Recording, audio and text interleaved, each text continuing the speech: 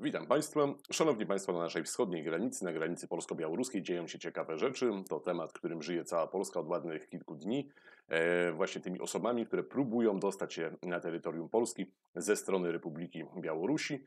No, jesteśmy zasypani najróżniejszymi informacjami. Media stwarzają pewien obraz całkowicie intencjonalnie, nazywając te osoby uchodźcami. No i tak się składa, że media po prostu często kłamią, ordynarnie kłamią, ale mm, także manipulują prawdą w taki sposób, abyśmy my, widzowie, czy my, odbiorcy tych mediów, e, odebrali jakąś informację i wyrobili sobie fałszywy obraz na temat tego, co w istocie rzeczy e, ma tam miejsce. E, dlatego, żeby tutaj uporządkować pewne rzeczy, chciałem podzielić się z Państwem swoimi uwagami, swoimi opiniami, szczególnie w kontekście faktu, że jeszcze kilkanaście dni temu przebywałem na terytorium Białorusi, więc widziałem poniekąd, jak sprawa wygląda z drugiej strony, jak z tej drugiej strony ta sprawa jest odbierana. Na początek e, trochę porządku semantycznego, kto to jest uchodźca, a kto to jest emigrant. Otóż emigrant to jest ktoś, kto opuszcza e, swoje miejsce zamieszkania, swoje miejsce pobytu e, i szuka nowego, lepszego miejsca do życia. Motywy emigracji są różne, najczęściej są to motywy ekonomiczne, ktoś po prostu szuka dla siebie lepszych warunków do życia. Natomiast uchodźca to jest ktoś, kto musi opuścić terytorium, które zamieszkuje ze względu na potencjalne prześladowania, które mogą go dotknąć, albo prześladowania, które już go dotykają z najróżniejszych przyczyn. To mogą być przyczyny polityczne, przyczyny religijne, tak naprawdę jakiekolwiek przyczyny. Uchodźca bardzo często ucieka z terenu, który jest objęty jakimiś działaniami zbrojnymi, czy to wojną, czy to jakimiś e, zamieszkami albo innymi formami działań zbrojnych. A zatem różnica jest podstawowa i zasadnicza. Uchodźca opuszcza swoje miejsce pobytu, swoje miejsce zamieszkania ze względu na obawę o własne życie czy zdrowie, czy obawę E, jeśli chodzi o życie czy zdrowie jego rodziny. Natomiast emigrant po prostu szuka lepszego miejsca do życia dla siebie e, i jest to zjawisko również jakoś tam powszechne. Dlaczego zatem e, media z uporem godnym lepszej sprawy nazywają tych ludzi, którzy próbują się dostać na terytorium Rzeczpospolitej Polskiej uchodźcami? No bo uchodźca, słowo uchodźca ma pewien bagaż emocjonalny, wiąże się z pewnym bagażem emocjonalnym pozytywnych emocji. Takie osoby są przez nas traktowane od razu lepiej, tak? No bo uchodźca ucieka przed czymś, a więc my mamy taką naturalną potrzebę pomocy temu komuś. E, to taki nasz ludzki odruch. Uchodźcom się pomaga, no a emigrantom już niekoniecznie, bo ten emigrant przecież przyjeżdża tutaj pracować, no jest to tak naprawdę jego sprawa, e, co on chce e, robić i jakie są jego motywacje. Stąd ta nazwa uchodźcy. No ale skąd mamy wiedzieć, że to właściwie są uchodźcy? My nawet nie wiemy, z jakiego państwa przybywają te osoby. Wiemy, że przybywają do nas z terytorium Republiki Białorusi, no ale przecież to nie są Białorusini, tak? Wiemy, że to także nie są osoby z Afganistanu. Tutaj dyplomaci afgańscy wyraźnie określili, że te osoby, ci e, migranci, którzy próbują przekroczyć granicę e, białorusko-polską, to nie są Afgańczycy, to nie są osoby, które uciekły z obszaru zajętego E, przez talibów. A zatem mamy do czynienia, Szanowni Państwo, już na tym wstępnym etapie z klasyczną manipulacją, kiedy osoby, które nie są w gruncie rzeczy uchodźcami, są nazywane w mediach uchodźcami, po to, żeby wywrzeć na nas konkretne wrażenie, po to, żebyśmy my odnieśli się do nich w szczególny, pozytywny sposób. A takich manipulacji, takich e, manipulacji na różnym poziomie jest sporo. Na pewno widzieliście Państwo e, to słynne zdjęcie dziewczynki z kotem, która tutaj e, wskazywała, że uciekła właśnie z Afganistanu i kot całą drogę szedł pieszo. Tutaj mamy do czynienia z klasycznym, że tak powiem, przepaleniem na relacji, ponieważ ktoś, kto wymyślił tą sztuczkę, chciał nas wzruszyć, a tymczasem osiągnął raczej śmieszność. No wiemy, że kot, który przez trzy dni pokonałby kilka tysięcy kilometrów pieszo, z pewnością nie wygląda w taki sposób, pomijając już fakt, że jest to trasa, której po prostu nie da się e, w takim tempie przejść pieszo z Afganistanu do Polski, idzie się przez e, kilka miesięcy. Zresztą ten kot był okazem zdrowia, to bardzo mm, drogi, rasowy kot brytyjski. Każdy, kto e, się na kotach zna, każdy, kto koty lubi, wie, że takie koty są bardzo wymagające i kot utrzymany w takiej kondycji, w takiej formie z pewnością nie jest kotem uchodźcy, czy nie jest kotem uchodźcą. Zresztą tutaj opozycja, która grzeje ten temat, spadła nieco własne sidła, ponieważ no, słynne hasło kod może zostać, reszta i tak dalej, e, kierowane mm, do niedawna mm, do prezesa Prawa i Sprawiedliwości. Tutaj e, zemściło się, e, psując, jakby niszcząc tą narrację z dziewczynką ratującą kota z rąk groźnych talibów.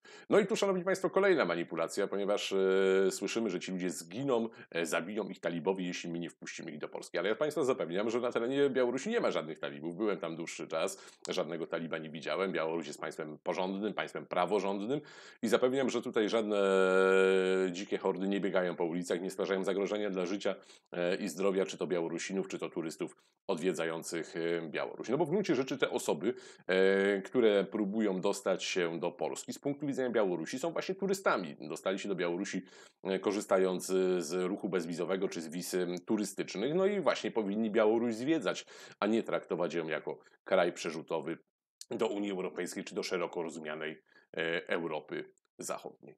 Kolejna taka manipulacja związana ściśle z tym tematem to jest brak dostępu do służby zdrowia ze strony tych rzekomych e, uchodźców. Szanowni Państwo, to wygląda tak, że każdy, kto biega się o wizę na terenie Białorusi, musi wykupić e, ubezpieczenie zdrowotne. Takie ubezpieczenie jest dość kosztowne, należy spełnić bardzo e, konkretne warunki i to ubezpieczenie opiewa na dość poważne sumy, a zatem każdy, kto, każdy turysta, który rozchoruje się na terenie Republiki Białorusi, zostaje objęty opieką zdrowotną. Zresztą opieka zdrowotna, służba zdrowia na Białorusi jest na bardzo wysokim poziomie, poziomie, których może tu dużo mówić wiele krajów Europy Zachodniej, może Białorusi pozazdrościć. Także możecie, Szanowni Państwo, absolutnie włożyć między bajki tezy, że są to osoby odcięte od y, opieki zdrowotnej. Wystarczy, że e, nie będą próbowały dostać się na terytorium Polski, wrócą na terytorium Białorusi i tam opieka zdrowotna jest im zapewniona, ponieważ są oni objęci obowiązkowym dla nich ubezpieczeniem. Szanowni Państwo, gdzie jest istota problemu? No bo umówmy się, że to nie jest tak, że jacyś y, biedni uchodźcy uchodzą z objętego walkami Afganistanu, idą pieszo przez pół Azji i dostają się konkretnie przez granicę białorusko-polską do Polski. No problem leży w Białorusi.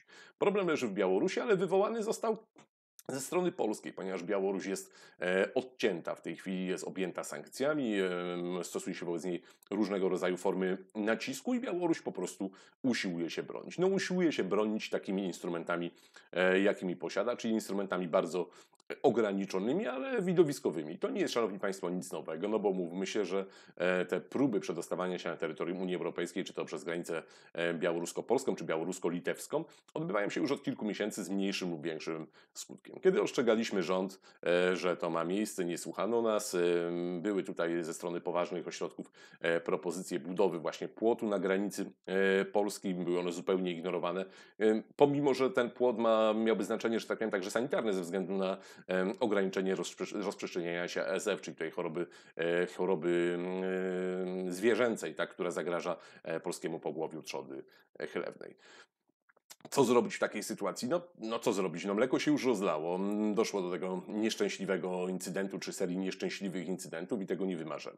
Na pewno jest to dobry, tak samo dobry jak każdy inny moment, żeby wybudować płot, ale nie tylko na odcinku granicy polsko-białoruskim, ale w ogóle wokół granic Rzeczpospolitej. Szanowni Państwo, i to nie jest nic dziwnego, ponieważ państwa Europy Zachodniej również się grodzą. Granice są w ogóle od tego, żeby się grodzić, tak? a od tego, żeby te granice pokonywać, są przejścia graniczne i te przejścia graniczne przecież jak najbardziej są, będą, są czynne i można z nich e, korzystać. Teraz być może w nieco ograniczonej mm, formule ze względu po pierwsze na COVID, a po drugie właśnie na te sankcje, którymi Białoruś e, została objęta, ale docelowo przejścia graniczne przecież właśnie służą przekraczaniu granic, natomiast same granice, jak sama nazwa wskazuje, służą rozgraniczaniu, a zatem płot na granicach jest niezbędny. No ale płot nie rozwiąże istoty problemu, e, którym jest brak relacji Polski z Białorusią. No i korzystając z tego, że mm, poniekąd postawimy na swoim, budując ten płot, okazując stanowczość, nie wpuszczając tych e, imigrantów na terytorium Rzeczpospolitej Polskiej, mamy dobry punkt do wyjścia do rozmów z Białorusią. Zwłaszcza, że strona białoruska chce z nami rozmawiać. To nie jest tak, że Białoruś jest jakieś egzotyczne państwo, z którymi nie mamy żadnych interesów. Wręcz przeciwnie, to jest nasz najbliższy sąsiad, mamy z nimi całe mnóstwo interesów, a nawet gdyby nie było e, tych interesów stricte ekonomicznych e, czy stricte politycznych, to mamy na Białorusi bardzo duże grono białoruskich Polaków, o których bezpieczeństwo, o których prawidłowy rozwój mamy obowiązek jako wspólnota narodowa się troszczyć, wynika e, z istoty e, naszej wspólnotowości. Dlatego nasze relacje z Białorusią są relacjami kluczowymi. Korzystając z tego, że strona białoruska ma intencję te relacje normalizować, powinniśmy skorzystać z tego i rzeczywiście te e, relacje normalizować. Szanowni Państwo, to tyle jeśli chodzi o istotę rzeczy, ale nie mogę się jeszcze nie odnieść do jednej sprawy, a mianowicie do polskiej opozycji, która pokazała w całej rozciągłości, jak bardzo szkodliwą i antypaństwową organizację stanowi. Zacznę może od hipokryzji, bo najbardziej nad losem tak zwanych uchodźców ubolewa tak zwana lewica, polska kawiorowa lewica, nie pamiętając zapewne, że zaledwie 20 lat temu, tak szanowni państwo, w XXI wieku na terenie Polski CIA prowadziło swoje tajne więzienia, gdzie przesłuchiwało w sposób zupełnie nielegalny, przetrzymywało w sposób e, zupełnie nielegalny osoby nieosądzone, a jedynie podejrzewane e, o terroryzm. Te same osoby, które zezwalały na otwarcie tych nielegalnych, nieludzkich, niehumanitarnych e, obiektów, obecnie mądrzą się i mm, stroją się w szaty autorytetów moralnych. Powiedzmy sobie wprost, jest to jawny przykład hipokryzji i jest to żenujące. Ale to jeszcze nie jest najgorsze, szanowni państwo. Najgorsze jest to, co wyrabiają posłanki idiotki i posłowie idioci ze strony Koalicji Obywatelskiej i ogólnie naszej kawiorowej lewicy. Te wszystkie happeningi przygraniczne, e, te wszystkie żenujące zbiórki, gdzie pani e, posłanka zebrała wieprzowinę, żeby przekazać ją e, muzułmanom, to nie tylko świadczy o mm, klasie politycznej, czy braku klasy tej klasy politycznej. No to świadczy o nas jako państwie, ale te głupawe zagrywki, głupawe antypaństwowe odzywki są odnotowywane. Szanowni Państwo, mając taką opozycję wewnątrz państwa, nie potrzebujemy już wrogów zewnętrznych. Oni sami zupełnie wystarczają nas, nam za wrogów zewnętrznych. Ja już się nie będę odnosił do e, szczególnie chamskich, prymitywnych wypowiedzi tych e, wszystkich styropianowych bohaterów, którzy e, ten, ten, no nie, to w, w ogóle poniżej jakiegokolwiek poziomu. No ale, Szanowni Państwo, prawdziwy dramat polega na tym, że ci ludzie za chwilę być może będą rządzić Polską, a tymczasem będąc opozycją pokazują, że nie nadają się nawet do bycia opozycją. I tym smutnym akcentem, tą smutną konkluzją kończymy na dzisiaj. Dziękuję za uwagę.